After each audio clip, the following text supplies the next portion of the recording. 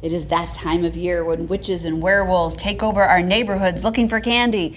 It is also the time for our annual ghost hunt with Agawam Paranormal. Yeah, so on this Halloween night, I'm taking you along for our latest investigation after we spent the night in a centuries old house. Our goal, as always, to try and capture evidence of a haunting.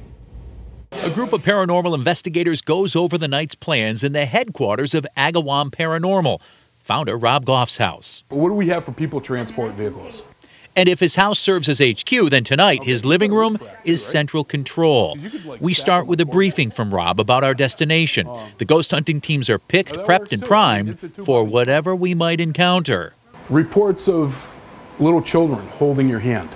Instead of one large team, we'll be running two. Rob's splitting forces to save space since tonight's um, target is a little tight. So, Rob, tell me, what are we up to tonight? Ah, we're yeah. going ghost hunting, buddy. We're going to head out to um, a local historical haunt, and it's in West Springfield. Yeah. We're going out to the Josiah Day House, which is phenomenal.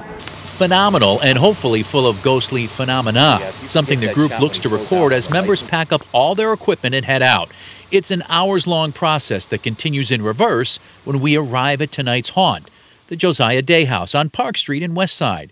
It's the oldest known brick salt box style house in the country. So the house was built in the 1750s um, on the site of a, a, house that was here before much earlier and actually the chimney that is still standing is the original chimney that this house was built around.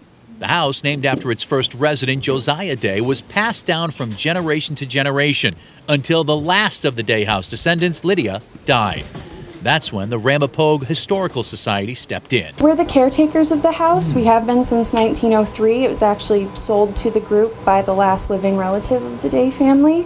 But it's not the living members we're looking for tonight. And with the high tech equipment now set up night vision cameras, motion detectors, and electronic monitors the hunt begins. We believe that we have multiple spirits that are intelligent, uh, they're interactive, and Will they be tonight? I don't know.